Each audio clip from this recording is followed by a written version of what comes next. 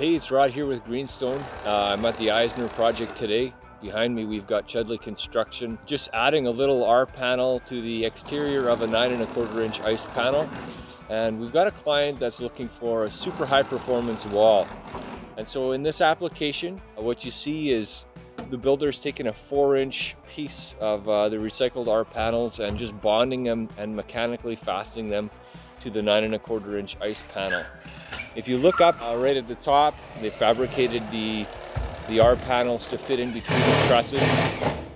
And that's just so that they can slide them up right in between uh, the truss spaces and create a nice uh, stop for the insulation uh, up into the attic space. And so yeah, just trimming them around the openings and you'll be able to see how there is strapping uh, being fastened to the exterior face. It creates an airspace uh, between the R panel and the siding layer. Uh, it creates a nice fastening point to attach the siding to and it helps to tie the building down at the same time as well.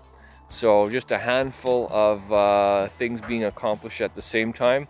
What you do end up with is you do end up with um, a thicker wall, you know, nine and a quarter plus four inches.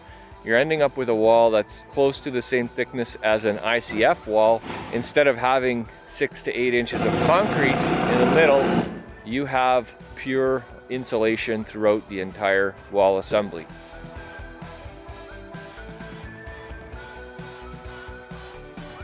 Behind me here you can see the detailing. So on the inside of the wall, you've got the nine and a quarter inch ICE Panel with the steel frame on both sides. And then outside of that, the four inch R panel added to it. Uh, and then the two by four strapping, you know, going around that opening, creating a nice uh, fastening point for installing the window as well. And uh, yeah, just you end up with a really thick wall, lots of insulation, and uh, it's going to be a super efficient build.